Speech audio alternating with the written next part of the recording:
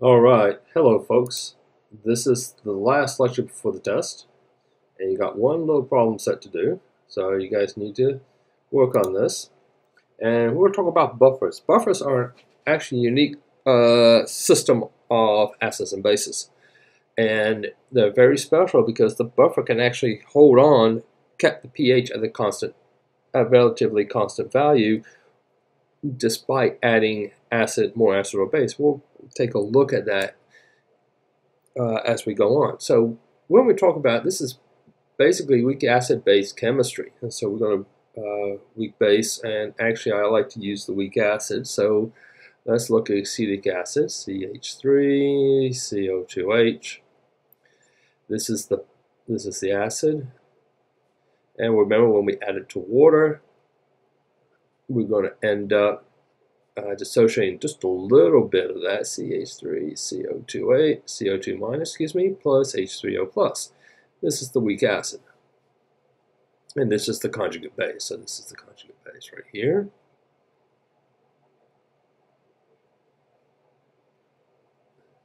And so what, when we add the, but we can also start off with the conjugate base. And what we usually have is what we call sodium acetate, and it's written out in two ways. It's either NaCH3 CO2 or CH3 CO2 Na, meaning that this Na comes off. Either way, this is acceptable. Both of these are acceptable. So we're going to add this to H2O. And what we'll have is that this will dissociate completely. So we have CH3, CO2 minus, plus Na plus plus H2O. Now, there's, now there is another reaction that may occur, and that's the, the base dissociation constant reaction, where this reacts with water, neutral, to form CH3, CO2H, plus OH minus. And so we've got these competing reactions occurring. Now, if we have two salts, an acid and a weak base that are not similar to each other and not conjugate, this doesn't happen. That's another that's another topic uh, for graduate uh, college. But for here, we're going, when we look at a buffer, it's basically the, a mixture of weak acid and a conjugate weak base. So they have to be the same thing, basically. And we saw in the previous slide that we're looking at acetic acid and sodium acetate. Those are the combinations we're looking at. And this solution is able to stand a change in pH. And we'll show you how that works in a minute. And so the define, when we define the buffering capacity is the amount of acid. That's why I didn't touch my pen. There we go. Amount of acid that the buffer can have without changing pH. So base added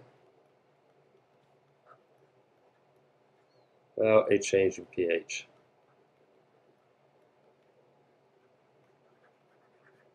And so that's the buffering capacity. And but this is dependent upon concentration of the buffer. The higher the concentration of the buffer of the two salts, the higher the buffering capacity. Now how this works, okay, let's look at the weak acid. And we'll stick with acetic acid.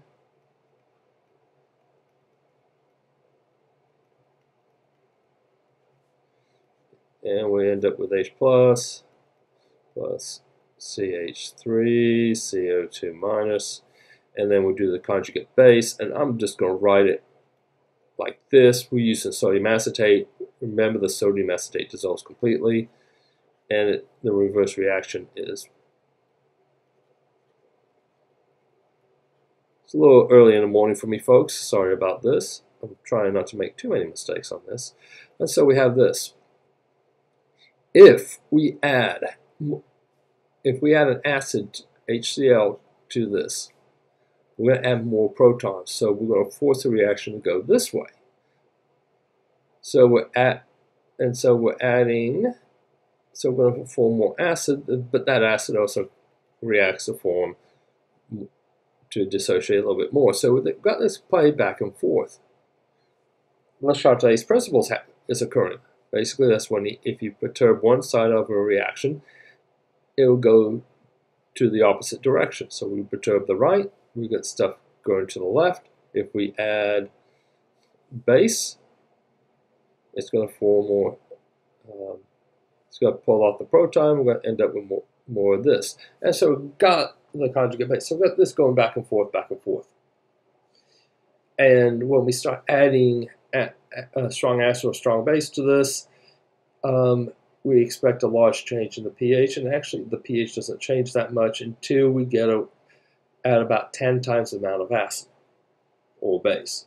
And then we see a huge change. And what really happens is that uh, the pH is dependent upon the log, the log, base 10 logarithm of the concentration of base over acid. And so what we're doing is we're taking the, the Ka equation, which is Ka is equal to H plus the conjugate base over the acid. All right, so K, so the negative log pKa is to the negative log, uh, that's the pH, times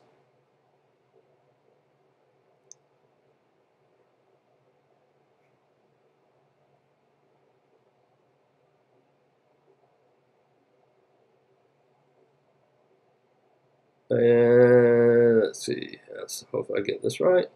This is the conjugate, this is the base. That's minus log of the base over acid. I gotta get, make sure I get this right.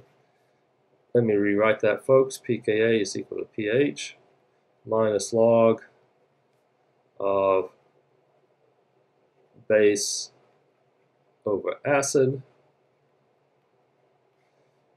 move the log over to the other side. So we have the pKa plus log of base over acid is equal to pH. And this is how that this is derived. So to change the pH by one unit, so we got pH of 4.5, to get it to 5.5, we need to add 10 times as much base as acid. So I've got to make this change. And this is the significance of a buffered of a buffered solution is that the pH does not change um, within a certain criteria, and that's uh, plus or minus uh, uh, one from the pKa. So let's look at, at an example. What's the final pH of a solution made by mixing 100 ml of 0.5 moles 0.05 mole solution of acetic acid and 100 mils of 0.1 mole acetate.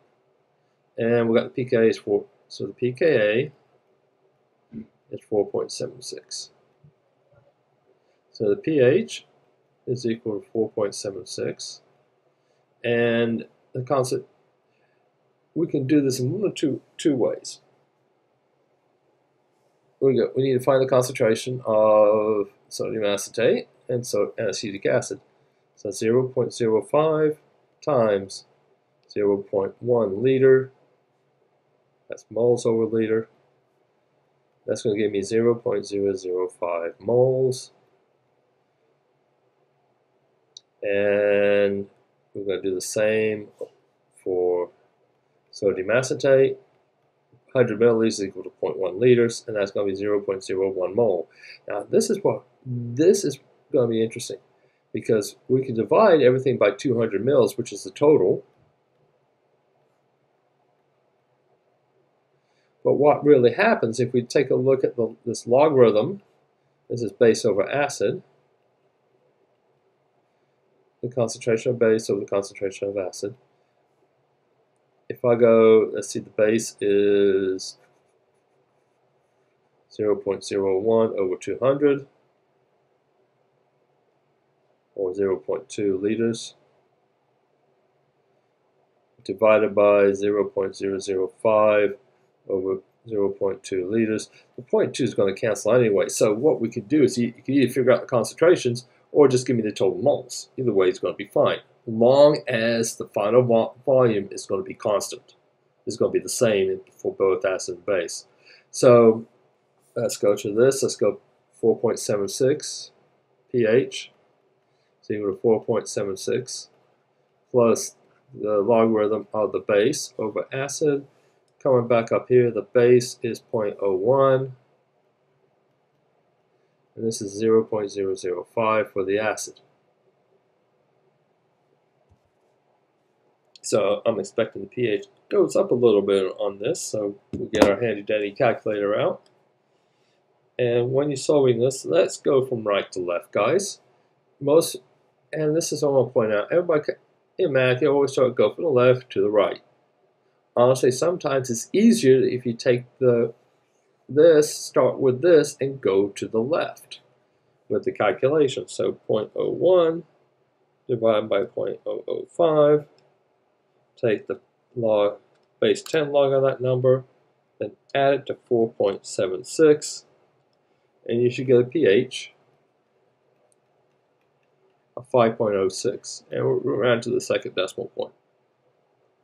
Now, for all pH calculations, you're going to see that all the pH answers are going to end in the second or the third decimal point. And honestly, with the measurements that we have, this is the where we usually round to because that's the sensitivity of all our pH meters. And if you see something, a pH meter that goes 5.067, this is fluctuating fairly, fairly widely unless it's got a high-end pH meter. So yeah, for the most part, we're just looking at the second decimal place.